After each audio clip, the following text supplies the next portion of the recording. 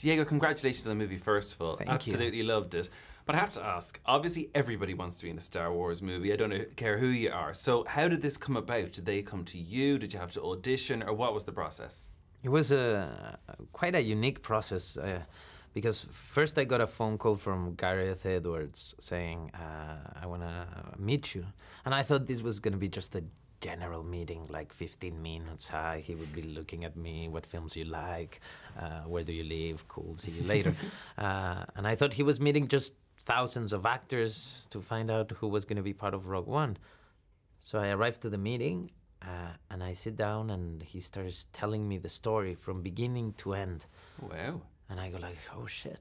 Oh, I mean, all this information. What am I gonna do with this now? Yeah. And he and he was telling it like from the perspective of, of a car, of a male character. He was like, so then he, the, this guy does this, and then uh, he sees her. So then he goes there, and then he's droid, and then he and I go like, is he saying that uh, he wants me to play that character or what? Uh, But I, I didn't want it to ask. Yeah, you right? Because can't. what if he says like, oh No. no, no way, I want the number of your best friend or something. no, so I was like, okay, I'm gonna wait. And at the end, he said like, I would love you to play this character, but I'm just the director here, so. Uh, I want to propose you to the studio, but then we have to go through many filters. You know, you have to put yourself on tape. We have to see if there's chemistry between you and, and Felicity. All of this. So I went like, perfect, yes. And then it was four months of kind of like waiting. Really? I put myself once in, in uh, uh, uh, I put myself on tape in Mexico, and then once I was asked to travel here to have a session with him. Okay. Um, and uh, it was crazy. I arrived and they they got me in through the back door of the hotel. Uh, I had to register as someone else.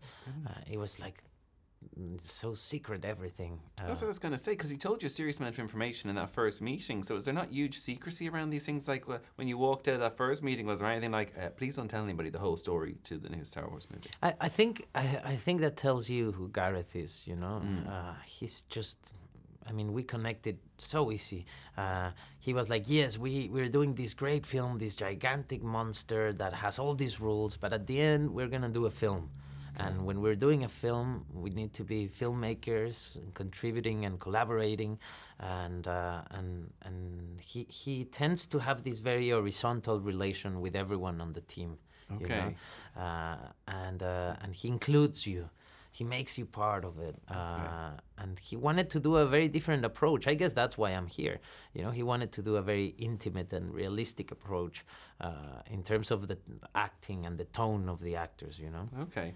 And, and, and on set for this movie, I mean, you're quite a serious character, character who's doing serious work, but surround you as an actor, you're surrounded by kind of robots. Know a lot of them go in in CGI. Is that distracting as an actor? Do you know, because uh, if you're a fan of Star Wars, I assume you're kind of like, this is kind of cool. When you're, Yeah, like, you can lose focus, I'd imagine. I found myself many times just staring at things, going like, "Oh my god, that's so cool!" Look, and then suddenly like, "Oh shit, no, I'm here to act."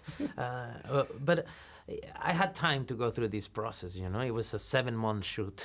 Okay. so I guess the first weeks, yes, I was a little bit like uh, just a kid wanting to uh, to take pictures and, and, and share with my friends.